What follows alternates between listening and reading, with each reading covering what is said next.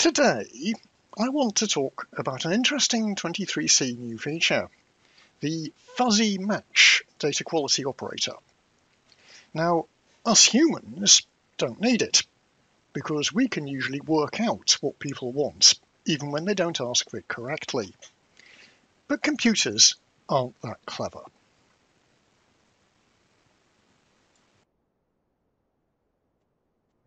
A not uncommon requirement is to search a set of rows using strings where you want an approximate match. You don't want to miss selecting rows because of minor differences that don't impact on the meaning of the data. This might mean that you want to ignore case or diacritic characters or perhaps spelling variations. Of course, your NLS settings are crucial here. Some languages use letters that don't even exist in other languages. If your client is configured to use a Scandinavian character set, it's going to have trouble searching for rows inserted by a client using Japanese. But let's assume we've got past those. We need a way to search strings for an approximate match rather than exact.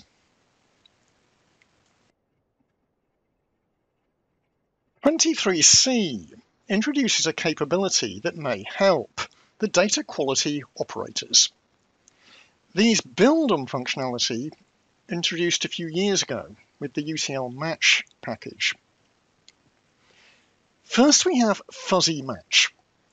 This uses various pattern matching algorithms to compare strings and score them for how similar they are. The algorithms can be tuned to your requirements and different algorithms will be appropriate for different datasets and workloads. Probably the most widely used ones will be the Levenshtein distance algorithm and the Jaro-Winkler similarity algorithm. These are both well documented elsewhere. The second data quality operator is phonic encode. This is based on pronunciation. The closest two strings are when spoken, the higher the score. I'll describe that one another day. So, beginning with fuzzy match, let's look at a simple example of a problem and how it can help.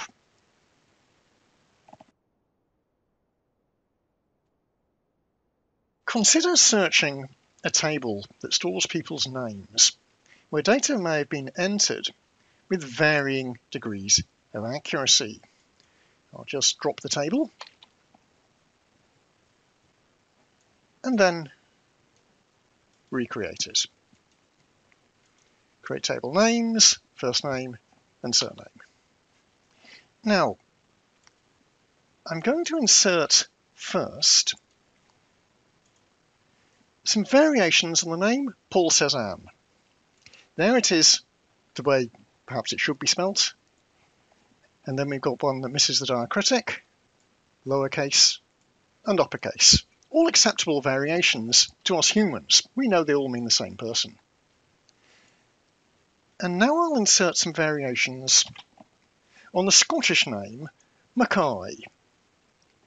Mackay with MAC, Mackay with MC, then some minor variations. So what have I got in my table? These eight rows. A possible problem is this. Select star from names where surname equals Cezanne, spelled correctly. Only one match. But I might well want them all. This particular example, there's been a workaround for several releases. If I set the session parameter NLS sort to generic base letter, that will get around the problem of case sensitivity and diacritics. I can then set another session parameter, NLS comp to ANSI.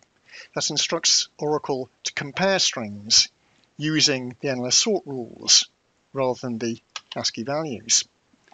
And now, when I run this query, it works. I get all four rows. But that doesn't help with my Scottish surname. Select staff names where surname equals Mackay, I only get the one back. And that's where our 23C new feature comes in, the fuzzy match function.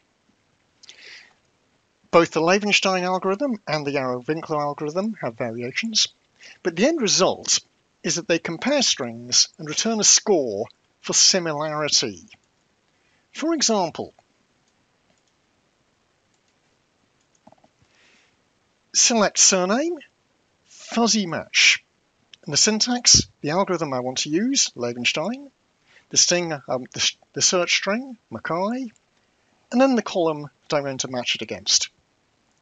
I've got another example, fuzzy match, this time using the Jaro-Winkler algorithm to compare Mackay to my surname column.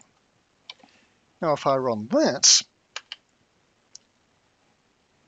interesting results. Now, when I compare Mackay to the variations on Cezanne, Levenshtein says no resemblance, zeros, which is probably what you want. Jaro-Winkler does find a bit of a resemblance for all except the very last example, probably based on the lowercase a that does occur in both Mackay and my Cezanne variations. The Mackay example is more realistic. Both algorithms mark the perfect match at 100. Then Mackay comes in second, 84% and 89% with both algorithms. The other variations? Well, Jaro-Winkler is a bit more forgiving of those than Levenshtein. And that's where you would need to consider what algorithm is appropriate for your requirements, and of course, what percentage match is considered acceptable. Well, how can you use it? Here's an example.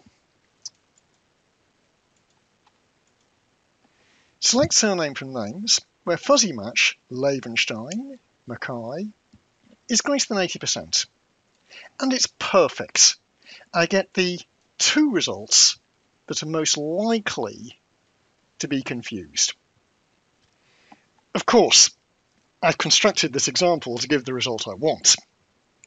You will have to tune the algorithm and your usage of it according to your data and your needs. To conclude, near-match searches are easy for humans, but they're hard for computers.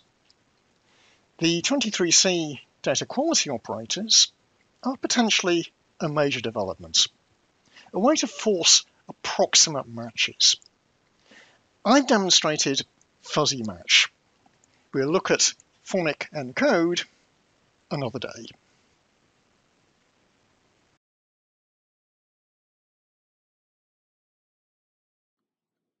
If you liked this video, please like it and subscribe to our channel.